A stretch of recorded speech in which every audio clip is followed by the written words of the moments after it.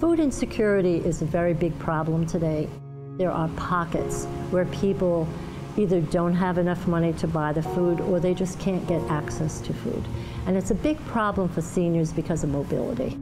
Currently, it's estimated that there's over 300,000 impoverished people on Long Island, most of them seniors, who have trouble either getting the food or preparing it.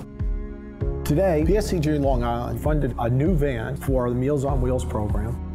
That's going to allow the EAC network to start delivering meals immediately for those seniors in need. The gift that was given to us today through PSEG Long Island is the gift that's going to keep on giving because it's going to help us to deliver to people who are waiting on the waiting list for food.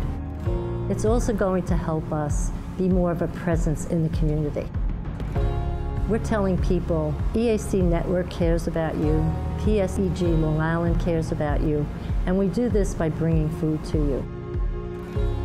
PSEG Long Island supports the mission of EAC Network because it's very close to our own mission. Our mission essentially is to serve the communities that we work in.